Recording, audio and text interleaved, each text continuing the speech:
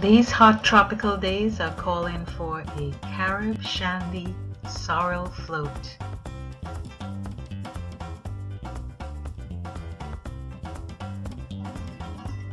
Two easy and simple ingredients to make your day with a Carib Shandy sorrel ice cream float.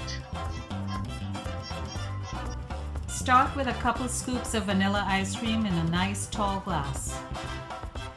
Then just pour in your Carib Shandy.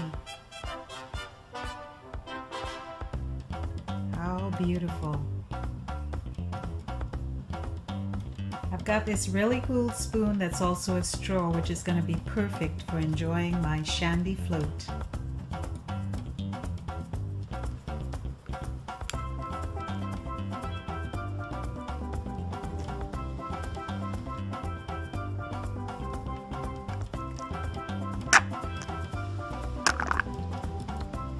Mm, this is divine.